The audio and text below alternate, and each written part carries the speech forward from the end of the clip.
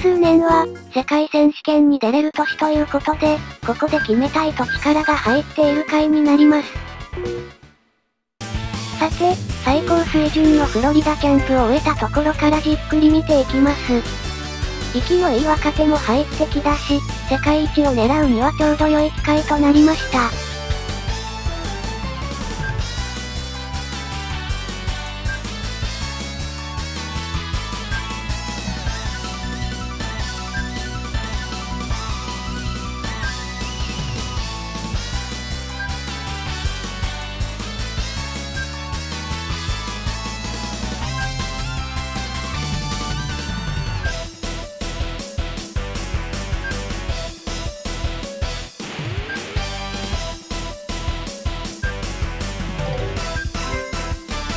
田さんは、肩と補給力が S となり、キャッチャーとしてもうすぐ完璧なレベルになりそうです。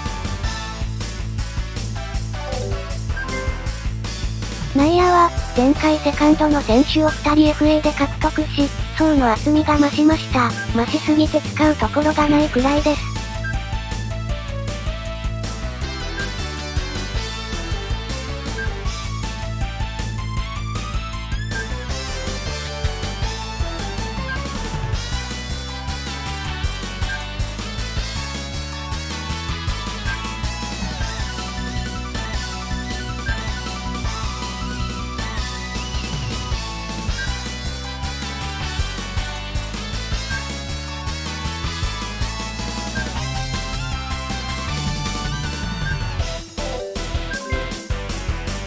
外野は、衰え出した選手がいますが、若手や中堅に良い選手がいるので、層の厚みに問題はありません。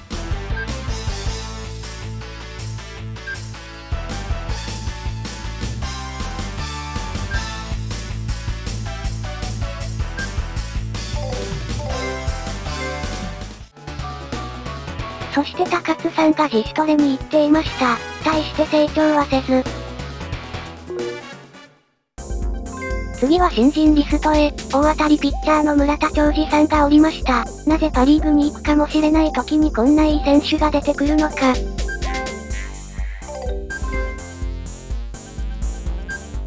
さらに小笠原、これはもう嫌がらせと言っても過言ではないレベルです。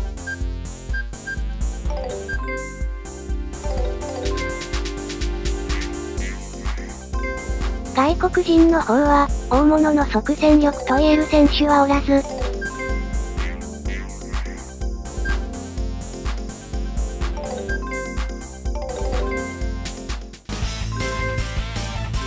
結構能力が高いコーチ陣を雇ったので、3月に特別練習を行いました。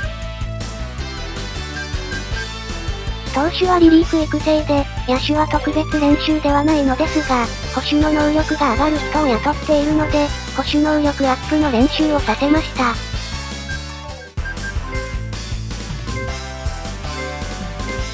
伸びしろのある選手は、これで結構成長すると思うので、パリーグに根付いたら、この辺も求めたいところではあります。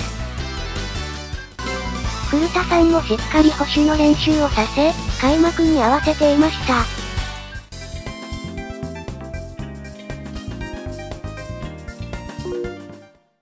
その後4月になり、古田さんに変化がありました。保守のリードが S になり、完璧に近い守備力を持つ保守となりました。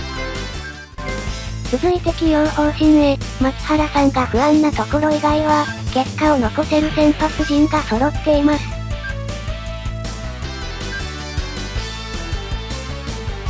抑えは長川と高津で、こちらも層が厚くなっております。野手の方は、大きな穴はありません。ちっちゃい穴は一塁手ですが、世界選手権では戦える戦力でしょう。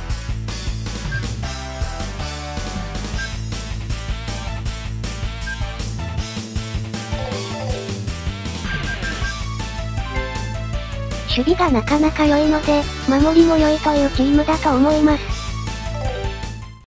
さて、あとは補強しながらのペナントレースですが、まずはトレードで先発陣を1人増やす作戦に出ます。このトレードが成功し、先発投手を1人ゲットしました。ピンチと守備力がいいので、安定感がありそうです。シーズンを半分終え、安定感が過去最高に増しておりました。防御率が3.30と、かなりフルタ効果による影響が出ておりました。それが最後まで継続し、成績は100勝に到達し、圧倒的な成績を残しております。防御率は、3.50で、3点台に一気に改善されていました。フルタ効果絶大ですね。個人の成績は、大きく目立つ人はいませんが、みんなそこそこに良しという打撃陣。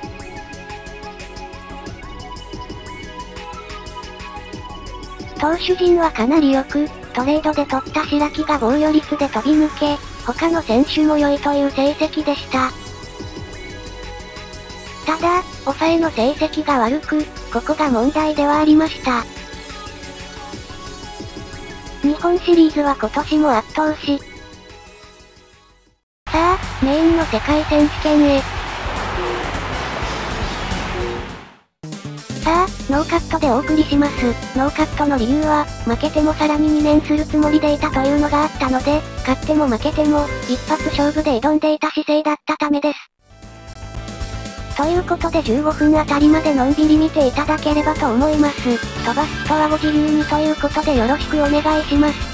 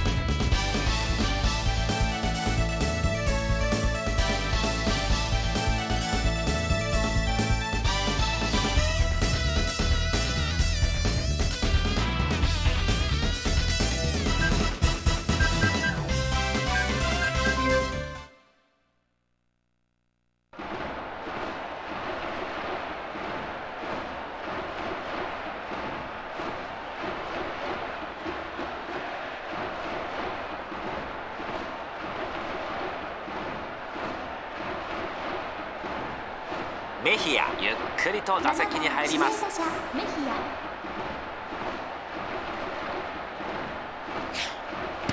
球目ボールから入りました。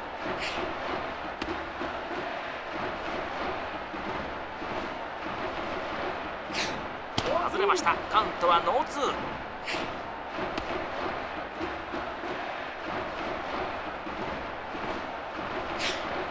これも外れました。カウントノースリー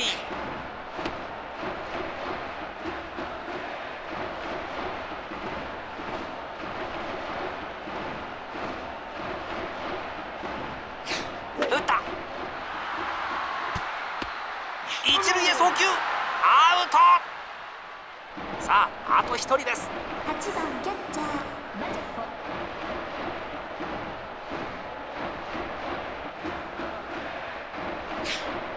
初球は見逃しストライク。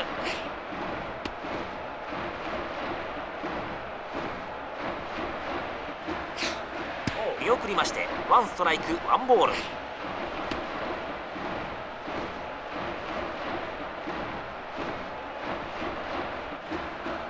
ったレフト前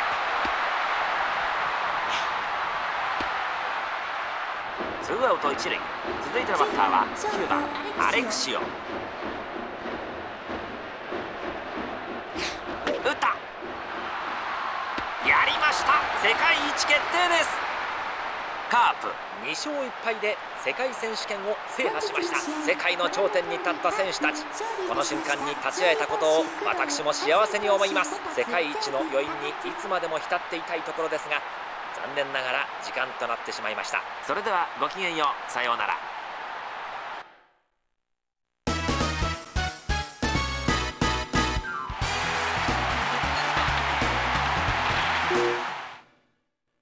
ということで無事、世界一に輝きました。これで広島カープともおさらばです。私はパリーグに行きます。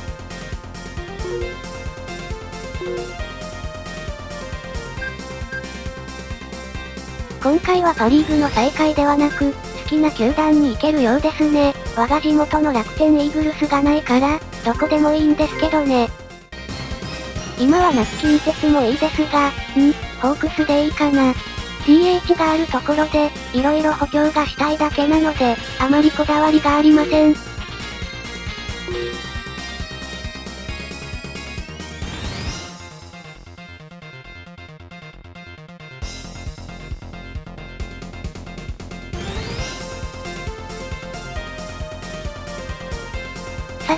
しばらく根付くであろう、パリーグにやってまいりました。次回からはホークスで日本一になるべく、戦っていこうと思います。